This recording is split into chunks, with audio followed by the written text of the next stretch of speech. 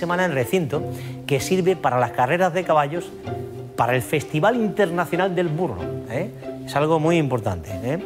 El Día Internacional del Lomo de Vejer y el Festival Internacional del Burro de Sanlúcar. Esto es, como siempre digo, más serio de lo que parece, señores. Por eso está aquí, en Andalucía Directo.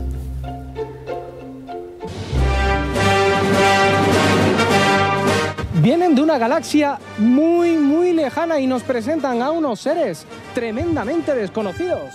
Bueno, no de tan desconocidos. Llevan 5.000 años aquí en la galaxia con nosotros, Antonio.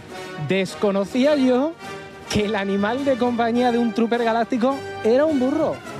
Pues sí, eh, aquí en Sanlúcar de Barrameda pues, y en toda la galaxia nos vamos a dedicar también a trabajar con los burros porque son muy disciplinados y son estupendos compañeros de viaje.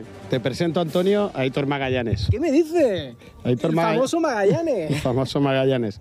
Esta es la mascota de nuestra asociación que trabaja por conmemorar el quinto centenario de la primera vuelta al mundo y la elegimos desde el principio, pues, aparte de lo simpáticos que son estos animales, porque representan la tozudez, la- el espíritu de sacrificio que estos héroes forjaron hace 500 años desde estas aguas. Veo que es el que triunfa entre los más pequeños, ¿eh? Sí, es el más querido. Eh, ¿Un voluntario o una voluntaria?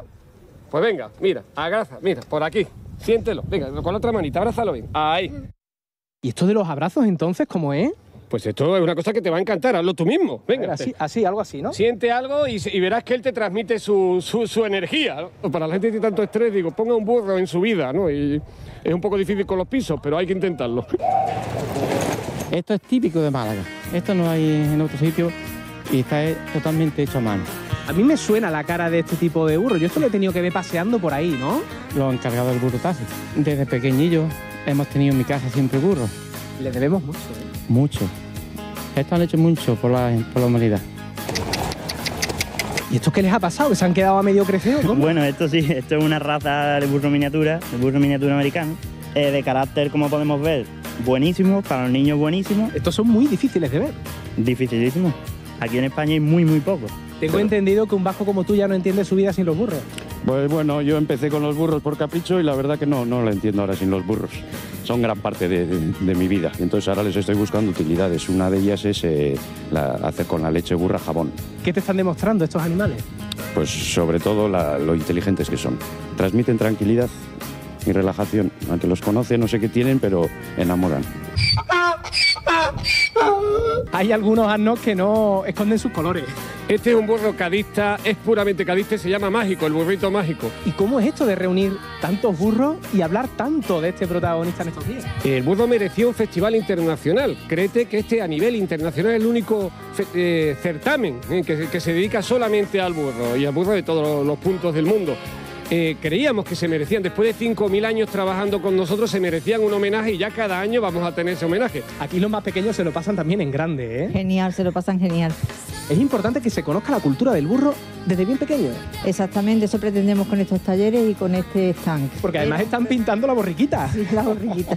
Este era un proyecto de nuestra vicepresidenta que ya ha fallecido y aquí lo tenemos. ¿Qué te parecen a ti los burritos? Eh, muy mono, yo qué sé, para acariciarlo. Porque además el burro es un animal muy arraigado en nuestra literatura.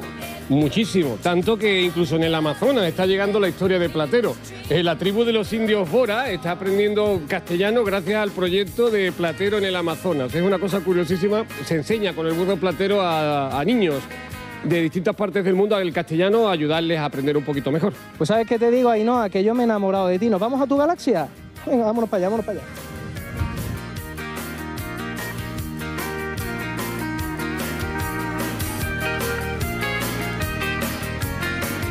Oye, qué bonita imagen, Antonio, precioso. Ahí en la desembocadura del Guadalquivir, en esa playa en la que dentro de unos días veremos las históricas carreras de caballos de Sanlúcar, él paseando a su Mila. ¿eh? Bueno, en estos días son muchos los que inician